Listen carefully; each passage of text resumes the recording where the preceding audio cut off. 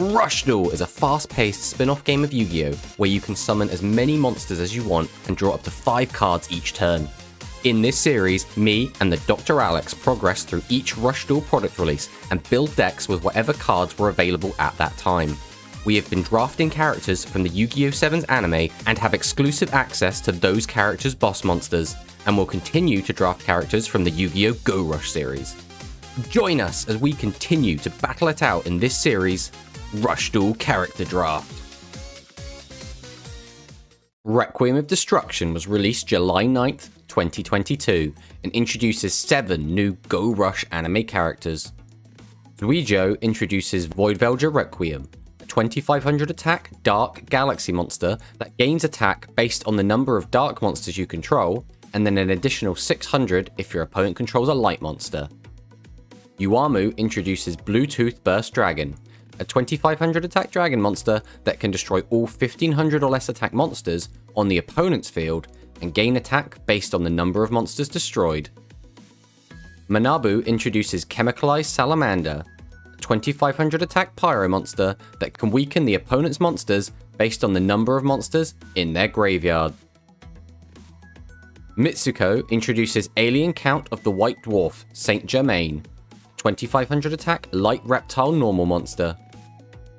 Tell introduces Kappa Emperor River Slider, a 2500 attack aqua monster that can send an aqua monster to grave to destroy up to two face up level 7 or lower normal monsters. Mania introduces Dian Keto, the Cure Maiden, a 2500 attack aqua monster that if you control a field spell allows you to draw one card, and if that card is a field spell, gain a thousand life points. Bocchi introduces Heartless Hound Martial Master Shiba, a 2500 attack Beast Warrior that the turn it's summoned can special summon a level 5 to 7 Beast Warrior from the graveyard. He also brings Heartless Hound Thunder Emperor Drynu, a 2500 attack Beast Warrior that the turn it's summoned can special summon a level 6 or lower Beast Warrior type normal monster from the graveyard. He also brings Heartless Hound Apex Katana Danbiramation, 2400 attack Beast Warrior normal monster. We have decided to include Tell and Mania as one Aqua package for the draft this week. I will be taking the Aqua package, Mania and Tell, Mitsuko, and Bocchi, while Alex will take Yuamu, Manabu, and Zuijo.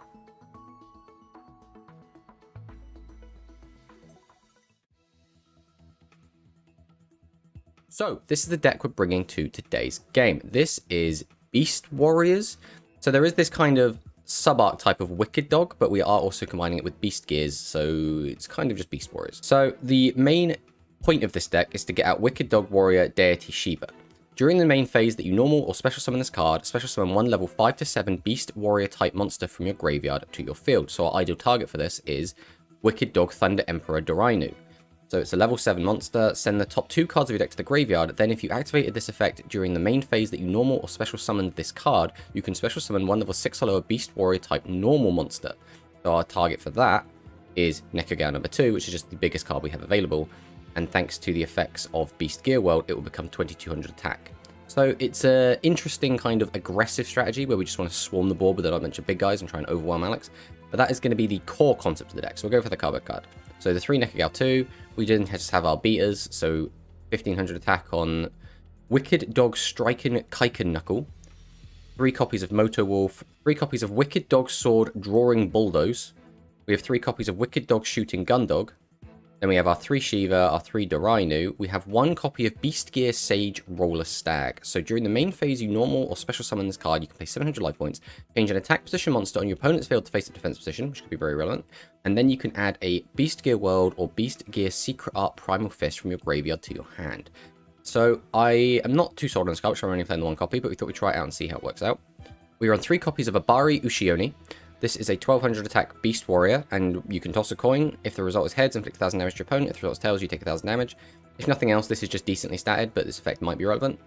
We're on 3 copies of Headhunter's Digmole. If you have 10 or more monsters in your graveyard, shuffle 3 Beast Warrior type monsters from your graveyard into the deck. One face-up monster on your opponent's field loses 800 attack until the end of this turn. So we should be filling our graveyard with a lot of monsters, so Hopefully we hit that 10, but 800 attack is a very relevant number to weaken a monster by, so quite happy to have this card. We are on two copies of Apocalypse, the Unstoppable Beast Warrior. So if we have Beast Gear World on the field, we can pay 1,000 life points special summon a Beast Warrior type monster from your graveyard to your field face up and inflicts piercing damage. So with this card, we can bring back Shiva, who can then bring back Dorainu, who can then bring back Nekogal. This is almost kind of a one-card combo as long as the graveyard's set up, and that's also why we're on the Monster Reborn. It's basically a third copy. We're on three copies of Rage of the Wild Beast. This is our spell and trap destruction. Three copies of Beast Gear World because we think it's necessary that we get this big power boost. And three copies of our Primal Fist, which allows us to change monsters to defense mode when they attack our powerful monsters, which also can be recycled using Roller Stags. So we're quite happy with this. In the side deck, we are kind of backtrack in case we want to go back to like the old kind of beast gear strategy. So we're on the three Savage Claw Tiger, our honorary beast gear. We're on three Beast Summoner. This will let us summon the Savage Claw Tiger or the Dorainu, but will not let us summon Shiva because it is a level 8. We are on three copies of Trike Fox, very similar effect. Again, can only summon the 7s. We are on three copies of Block Attack in case we want to change Alex's monster to defense mode, and three copies of Spirit Shackles in case he is on a tribal strategy. We can use this combat trait to try and win some combats. So that is the deck we're bringing. Hopefully, we can just kind of ride Shiva to victory and just beat down Alex. So, fire into the games.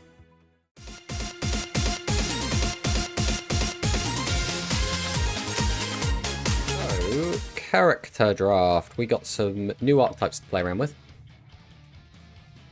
I think we each got about three to mess about with. I say new, Uh, but like yeah, yeah. Not. Re- I mean, I got Galaxy, Pyro, and a Dragon.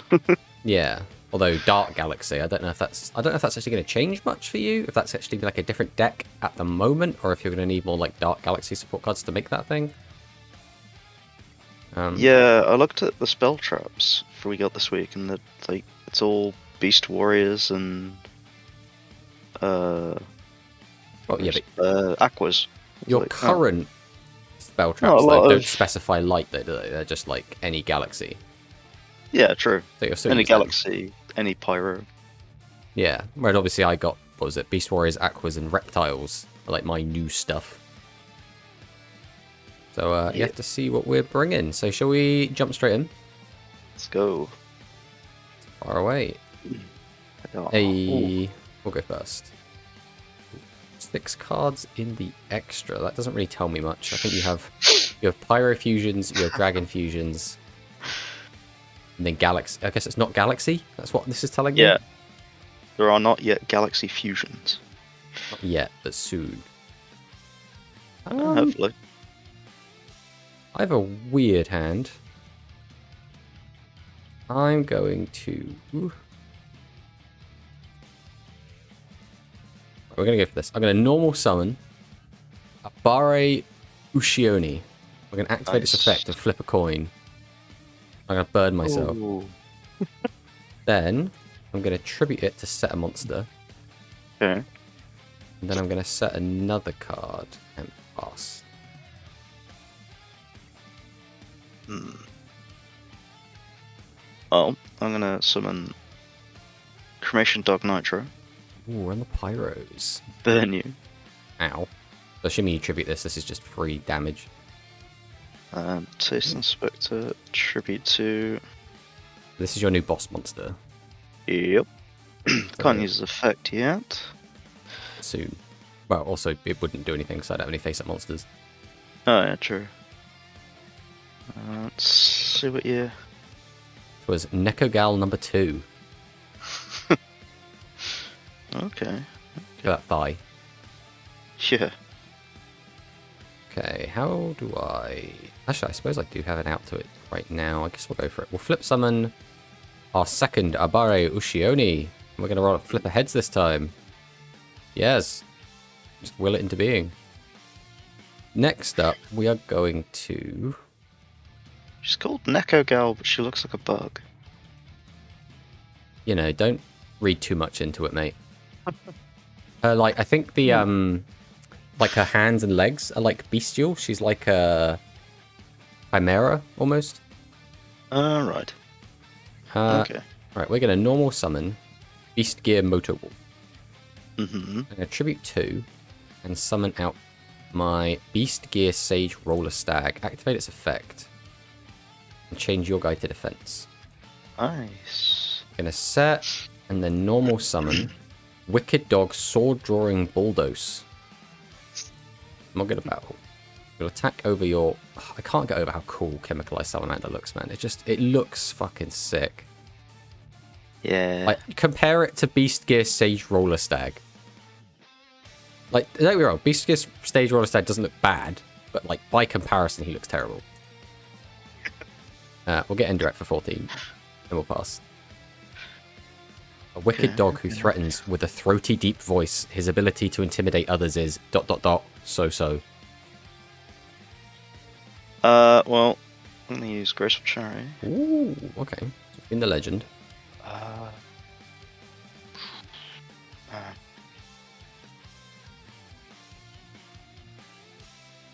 hmm. I'm gonna send. Wait, Is it just the one? Oh no, send two cards from your hand to the group. Ah. Mate, if that was one, that would literally be better than Pot of Greed in every single way. Yeah, true.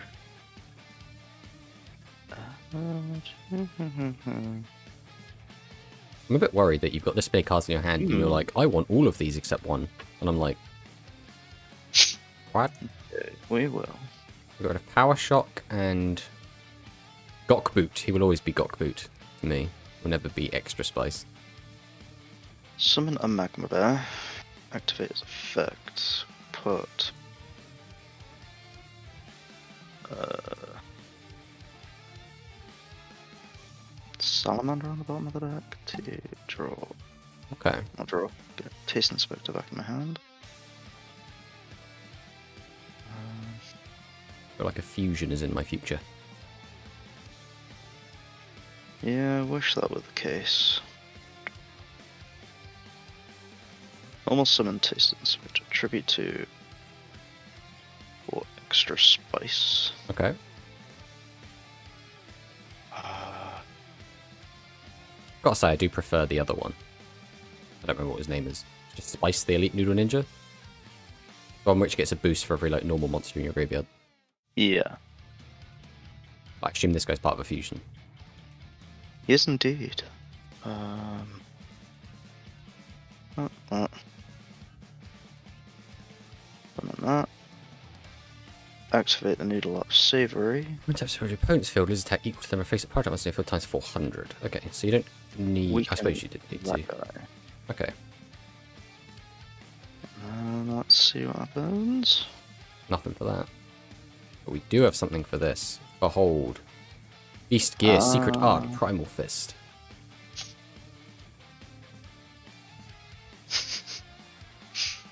Well, now it is time Wait, that's that's the guy. Yeah, that's the guy. Wait, is that the guy? Yeah, That's it is. the It's guy. like, it's like he's all grown up. Because he looks way buffer in this art, I think. Or maybe I'm just like seeing it. It's like I want to see it. No, his def his arms are definitely scrawnier in the trap card. Okay, well, I'm going to normal summon my Headhunter's Digmol, but he's not going to be staying around for too long, so we're going to tribute him. Summon out Nekogal number two, and we're going to summon Mm. out Beastgear Motor Wolf.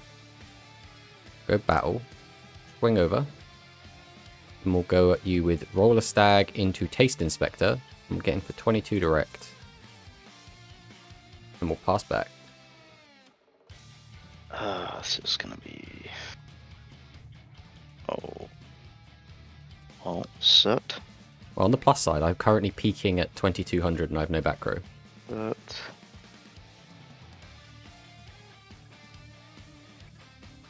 oh, that's this is just game because I can't.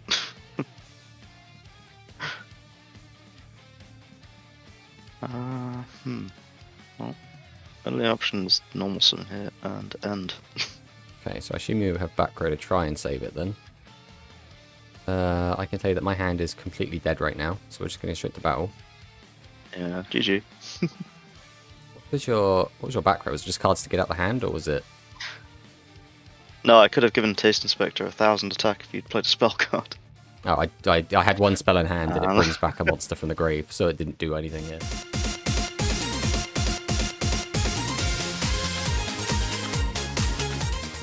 Go first. Okie dokie. Uh, well, Ooh, opens the graceful. we opened it, so. Are we going to find anything big? Mm.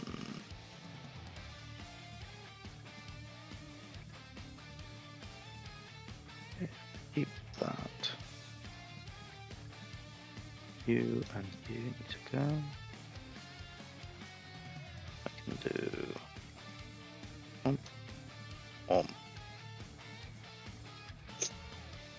Cross for... promotion, the Elite Noodle Ninja. Okay. Ooh. Fuse into. Miso Instant. 29 is big. I think I have to change this to defense to kill it. Can you do it? Um, Can I do it right now? Uh, no. Can I do it in the future? Maybe. Right, we're going to activate Beast Gear World. Mm-hmm. We're then going to have a little ponder about what the actual play is here, because you can easily shuffle three Pyros back into the deck and give yourself piercing. So, I'm going to activate another Beast Gear World. Uh oh. Then I'm going to normal summon my Wicked Dog Striking Kaiken Knuckle. Followed by normal summoning Wicked Dog Shooting Gundog. And I think we have to just pass on that.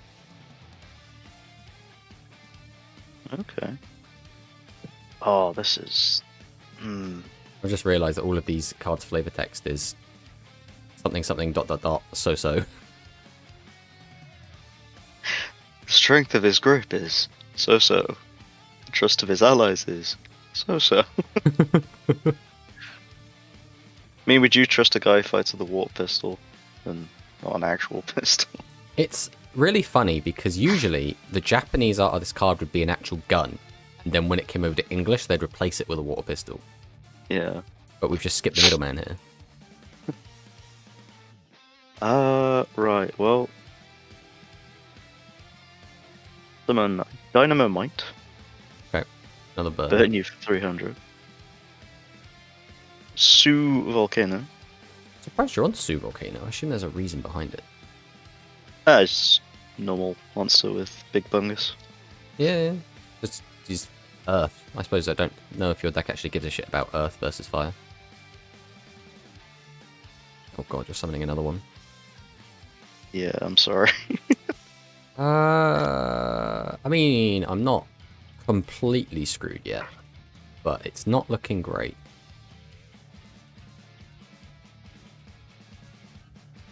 Activate. Oh, I might be able to activate both. Uh, what do I shuffle back in? Part of me thinks you just don't activate either. Keep the cards engraved to use the effect later.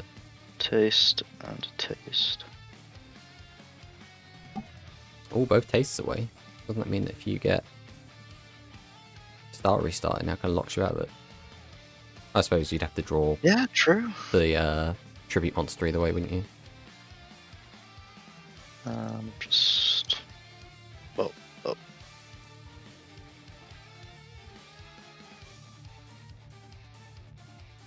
Okay. Well, we didn't take too much damage there. Okay, what are we working with now? You have only two pyros left in grave, which means I can kind of put my guys in defense and maybe be okay. I'm gonna set. We're gonna set, set, and set. Pass back. Okay. Who's back?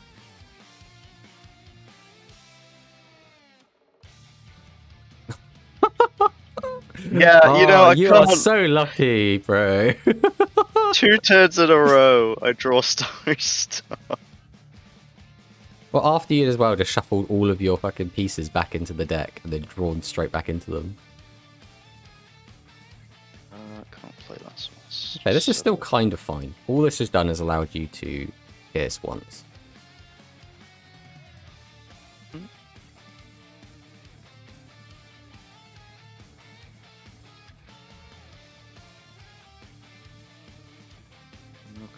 Oh, you hit the zero yes. defender. This now gets tricky because you have little burn effects in your deck. Ah, okay, what are we dealing with? You still have two Pyro and Grave. There's nothing I can really do about that.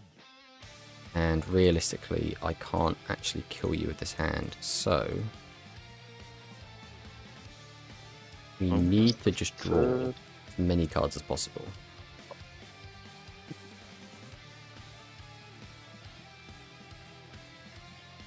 I mean, if you draw any tribute monster, you've pretty much got this. Uh, yeah. Well, it's this is risky, but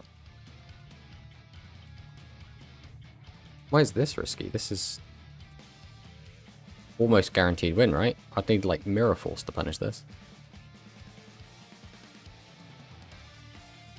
Yeah. This is probably the safest thing you could have done. yeah, I got nothing. I didn't draw any of my boss monsters at all. Uh,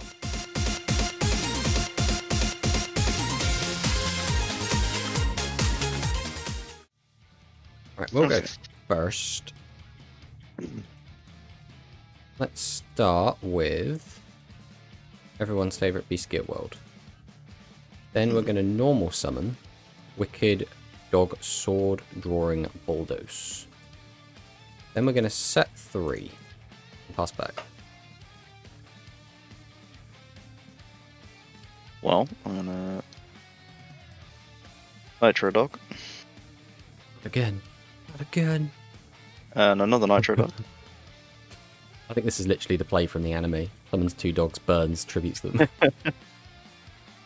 And then, hmm.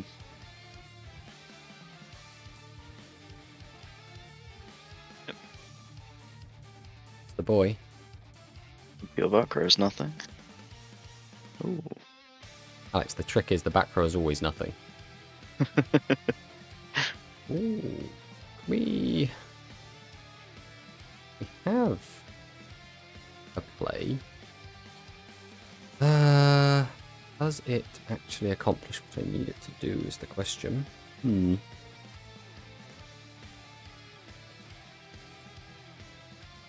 All right, this is the play. I'm going to normal summon out Bare Ushi Oni. Use this effect. A. We're then going to.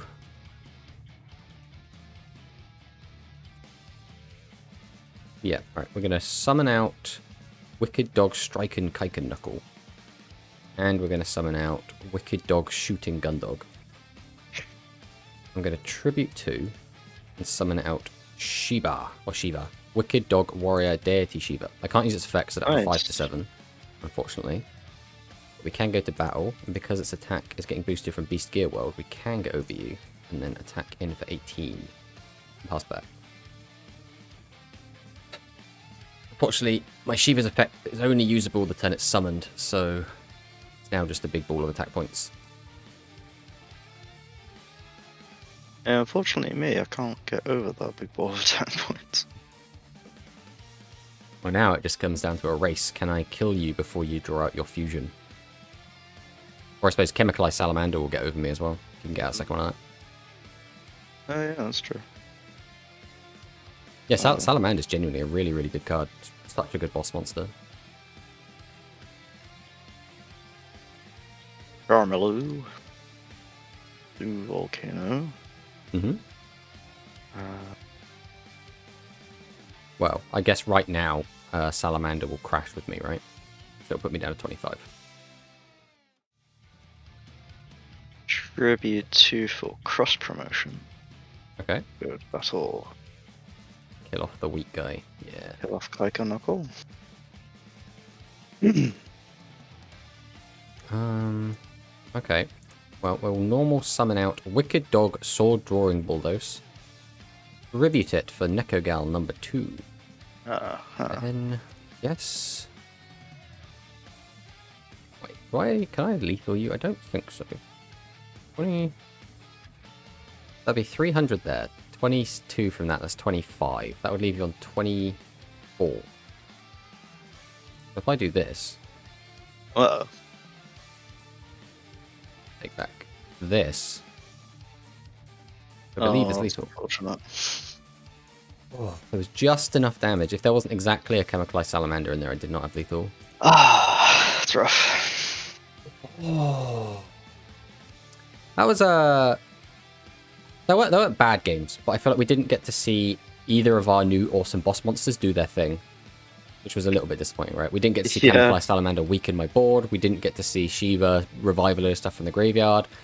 But I'm sure we'll have plenty of opportunities in the future. I don't think these cards are going anywhere. These are probably going to end up being mainstays of our decks. Oh yeah, absolutely. Oh, man. Like, don't get me wrong, I love Shiva. I love Shiva's effect. I love Shiva's art. But, oh, Chemicalized Salamander, bro. Looks so nice. I've just realised I didn't include spell trap destruction in this deck. I probably Um, should have done. Yeah, probably. I think there is even a pyro, or is it it the fire or pyro spell trap destruction? It's got like a weird, like red salamander looking guy on it. Uh, yes, two snakes shooting fire. Yeah, it's fine. We, we, we, we can. I'm sure it didn't cause that much issue, right? I mean, I had my spell trap removal in here and I didn't use it at all. So I've got one set right now, true. and you just never played back row for me to destroy. So, oh, but yeah, GG man. GG.